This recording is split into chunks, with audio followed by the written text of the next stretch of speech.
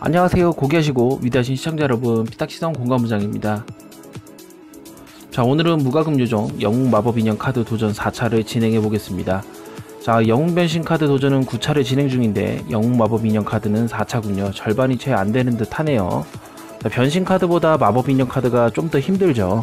컬렉션을 봐도 변신 카드가 마법 인형 카드보다 많죠. 이걸 볼 때도 변신 카드가 확률이 좋다는 것을 예측을 할 수 있죠 자, 한 가지 예를 더 들어보자면 희귀 카드 합성 도전을 하면서 변신 카드가 마법 인형 카드보다 확률이 좋다는 것을 알았죠. 자, 확률은 고급에서 희귀 카드 확률을 알아보자 프로젝트로 어, 확인이 가능하십니다.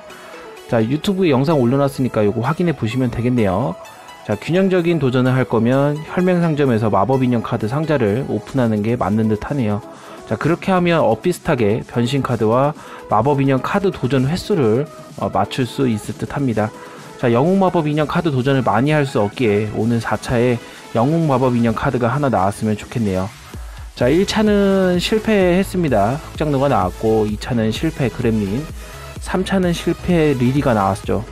4차는 성공을 할지 기대가 되네요. 자 확률적으로 볼 때 충분히 나올 수 있을 거라 저는 생각을 합니다. 택진이 형, 어, 변신 컬렉션도 줬는데, 영웅 마법 인형 카드도 한 장 부탁해. 형한텐 껌이잖아, 오케이? 예. 마법 인형 카드 합성으로 가겠습니다.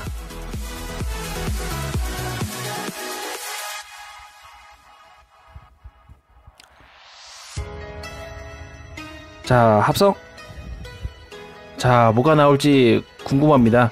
자, 공간장이 하라는 대로 해야 할 듯 하네요. 자, 성공의 주문을 외워보겠습니다. いらっしゃいませ 영웅 카드 됐을까? 아, 컬렉션이 성공했는데, 아, 과연 어, 영웅 카드가 나올지 기대가 됩니다. 자, 번개! 번개! 아, 번개 칠만한데요. 아, 이렇게 많은데 안 나오네요. 아, 요 승리의 주문이 어, 이번엔 통하지가 않았네요. 자, 에틴이 나왔군요. 아, 결과가 좀 안타깝습니다. 또 열심히 모아서 5차로 올 수 있도록 하겠습니다. 시청해주셔서 감사합니다.